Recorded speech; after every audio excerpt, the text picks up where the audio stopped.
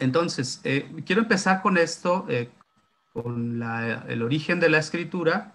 mm, mencionando rápidamente que la escritura tiene como función primordial eh, la conservación de la, de la memoria de la humanidad, pero sobre todo la escritura es una de las mejores tecnologías que, que, es, que jamás ha forjado el hombre, que el hombre ha forjado, ¿no? Por ejemplo, la escritura surge desde Sumeria a orillas de Éufrates y Tigris, eh, y tenemos realmente, eh, históricamente, eh, que esta escritura surge entre Mesopotamia y Egipto, varían las fechas, podemos ver ahí, por ejemplo, como antecedente la arcilla de Uruk, ah, es una tablilla hace 3100 años, allá en Mesopotamia, y en Egipto la paleta pizarra del rey Nemar, que consiste en un pescado y otros símbolos que, eh, que, representan también el Valle del Nilo. Eh, y en Europa eh, hay vestigios, por ejemplo, de Creta, de la escritura lineal B, que es muy, al principio se pensaba que era lineal A, y en, 1750 antes de Cristo. Posteriormente, en China, en 1200, a través de la civilización Shang, en los huesos oraculares que le llaman, en Anayan, en el norte de China, y posteriormente en América Central, sobre todo con la cultura que consideran la cultura madre en Veracruz. Y un milenio antes de que los mayas, por ejemplo, eh, empezaran a forjar los jeroglifos que, actualmente conocemos, no solamente con ellos, sino también para nuestra cultura, en Monte Albán, en Teotihuacán y en otros sitios eh, que han ustedes visitado. Pero lo importante es que si, bueno, nos podemos preguntar también si eh, no, hubiera, no hubieran llegado los españoles a nuestras tierras, la escritura, al igual que, eh, los egipcios, al igual que los griegos, yo creo que hubiera seguido una línea ah, parecida, ¿no? En el cual se estaba reduciendo los, uh, los, los jeroglíficos a pictogramas y después a ideogramas o logogramas en el caso de Asia es interesante porque, bueno, se rompe esta escritura, eh, este modelo de escritura en, en, Mesoamérica y pues ya no sabemos en qué iba a quedar porque, como vamos a ver más adelante, pues nos llegó el, también la romanización de alguna manera a través de los españoles, en el cual adoptamos el sistema del alfabeto latino. Eh, pues bueno, el primer alfabeto se dio en, el 2000 a.C. y esto deriva de los jeroglifos. Eh, con 23 signos y la alfabética ah, por los semitas en el Sinaí. Eh, no era tan formal hasta que el gobierno de Canaán eh, lo adaptó y también los, los, estados o las ciudades principales de, de los fenicios y ellos a través de, de, su navegación, de su quehacer del, de, los mares, de ir a visitar una tierra y otra, tocan un puerto y el otro. De esta manera se difundió en el Mediterráneo en el cual los griegos adoptan este, este alfabeto. Y se piensa que también los griegos eh, eh, no era la primera vez que, ellos estaban alfabetizados. Ellos habían, en algún momento de la historia, encontraron que hace dos milenios, antes de que los fenicios les trajeran esta este alfabeto, pues eh, ellos ya tenían, ya eran alfabetizados, pero después hubo un corte, lo mismo que nos pasó a nosotros aquí en, en, Mesoamérica, bueno, a la llegada de los españoles, nuestros ancestros tenían un sistema de escritura, posteriormente se rompe en un proceso y en la colonia se retoma ya con la propuesta ah, con el alfabeto latino, pero sobre todo con, con la gramática desarrollada por Nebrija en 1492.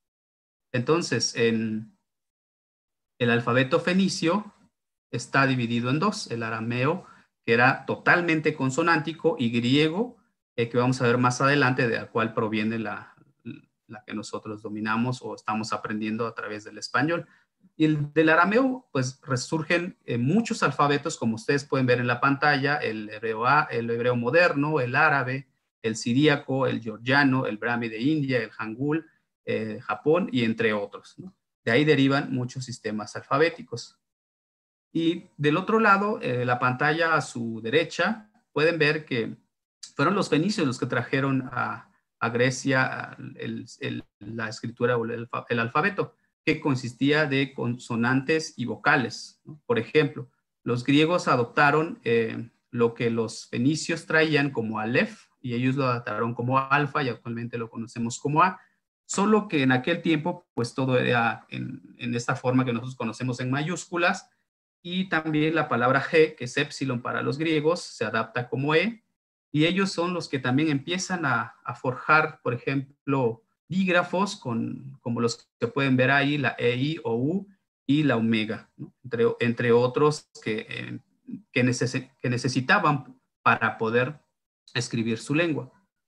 Y bueno, el griego también se dividió en dos, el occidental o lo que les llaman calcídico, eh, habladas en Atenas y en el norte de Italia.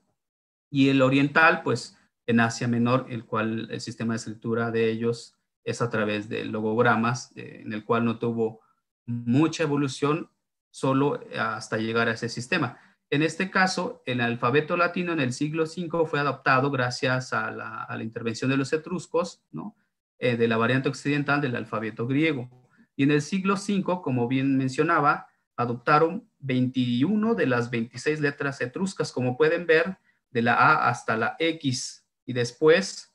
ah, por necesidades de la propia lengua, pues agregaron la Z, la Y, agregaron la G y también agregaron otra que no, no, se puede ver aquí. Eh, ustedes se preguntarán por qué, eh,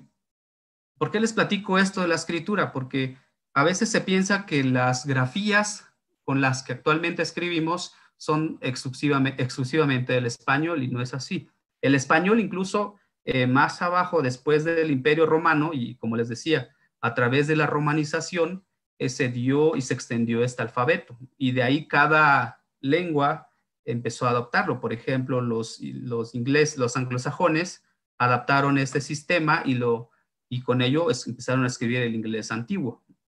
Y lo mismo pasó con español y las otras lenguas que llamaban vulgares en aquel tiempo. Les platico esto porque a veces eh, tarda mucho uno en discutir con, eh, en, reuniones que he tenido experiencia de normas de escritura, en, explicarles que realmente eh, Depende de las necesidades de la lengua, es como se deben de usar las grafías del alfabeto latino, no del español. El español también tuvo que agregar la ñ, y no me acuerdo cuál otra, eh, que necesitaba realmente la lengua para poder pues representarla en una escritura un poco más acabada. Y bueno, en este mapa les muestro cómo en esta zona, donde es el Éufrates y el Tigris, es donde surge la escritura, pero hay algunos investigadores también que opinan igual que su servidor en que en Mesoamérica se estaba desarrollando esa escritura a la par, no solamente con Mesopotamia y Egipto, bueno, unos años posteriores eh, ya se estaban forjando las, eh, por ejemplo, los cordeles o nudos, lo que le llaman quipus andinos, entre otras formas.